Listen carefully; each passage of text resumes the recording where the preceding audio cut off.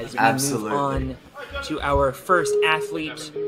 Trevor West says that he has been uh, primarily doing rock climbing, coming back to Ninja for this event though.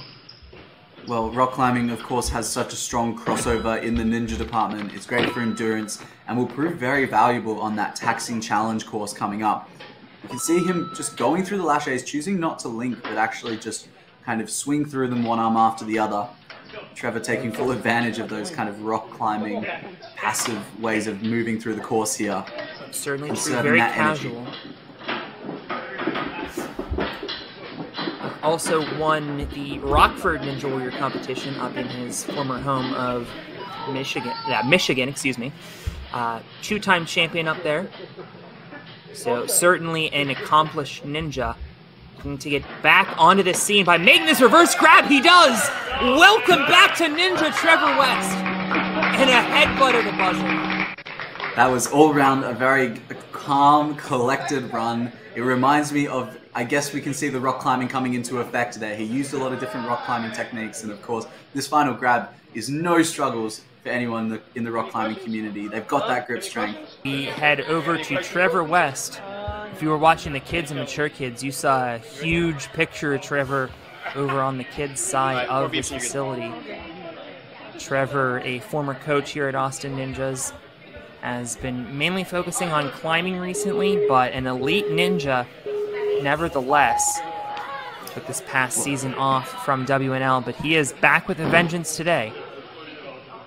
And I guess that climbing background could play really well into his favor in this uh, in this very difficult endurance-based course. If he can get through the technical obstacles like skyhooks, he might have a bit more promise as we move into the back end of the course, hopefully. But now coming into the skyhooks, the, the obstacle that has devastated a lot of our elite level competitors here today, just because of the nature and the difficulty of it. But Trevor move. is moving through well, Alex. This is a confident run. Well, he certainly hasn't looked like he's lost a step. He's got this ring tech down on lock, although getting a little bit hung up here as he tries to redirect his swing for this last jump. He's got it. Just has to shift his momentum once again. And he is And through. a clean run through skyhooks. Very fast time. That does put him into second place, so we will see Trevor West on the podium and in Ferox. But so much more still left on this course.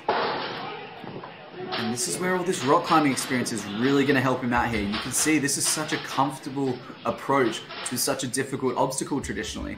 Trevor has that endurance. He knows how to use that rock climbing to his advantage. Can he stick the lache though? He's just gearing up for that now.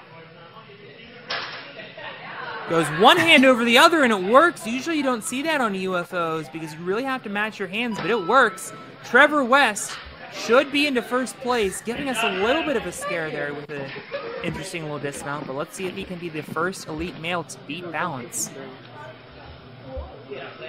Now lining it up, proving to be a bit more difficult for our elites who are a bit heavier than our teen competitors, so the boxes really move when they're on them. I can hear Mary Layton in my head telling me about how the elite females might have a little bit of an advantage on this obstacle, as we saw both women who got here, Addie and Madeline, beat this obstacle, but Jonathan Baines came undone here, and Trevor having a lot of trouble. Trevor now on the back end of the balance. There and he gets it. Alex, if you had told, if you hadn't told me that he hadn't trained ninja recently, I, I, I wouldn't have noticed. He is throwing down the best elite male run we have seen to this point, and with 30 seconds on the clock, he's shown us that he has the technical abilities to beat this mega throwback. And I would love him to see him through this obstacle. He wasn't able to do this oh! obstacle at Oh. the World Championships, so this might be a new element to him, although he was pretty close there on that throw. That was looking strong. He's got 21 seconds on the clock, so if he's to complete this, he's gonna have to go after it and go quick. 13 seconds. Definitely has the time. If he makes this catch, which he does, gets out of there, grabs the handle. He wasn't allowed to grab the handle. No, he had to grab the cliff. He was running too low on time, in a mental error will cost him the clear on that obstacle. Nevertheless, he's in first place.